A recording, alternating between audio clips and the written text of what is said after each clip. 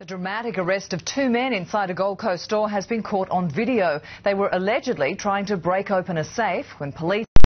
Using tools from the Nerang store they were allegedly robbing, the men made so much noise trying to bust open a safe, they didn't hear the police outside. Yes, you're in strike now. Get down on the ground now. When they didn't respond, police dog Robbie took over. Get down on the ground. Police dog, police dog, police dog. Inside, officers searched the store, unsure if tools would be used as weapons.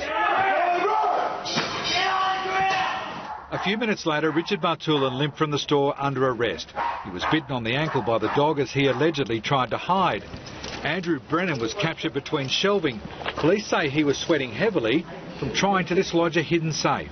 And they've used the tools from inside the business to actually try to get into the safe, and they've caused a lot of damage trying to do that. Both men were charged with break and enter. The store's security cameras were smashed, but detectives say the pair were caught red handed. In court this morning, the magistrate agreed, saying it was probably one of the strongest prosecution cases he'd seen. Both were refused bail and will stay in custody for at least one month.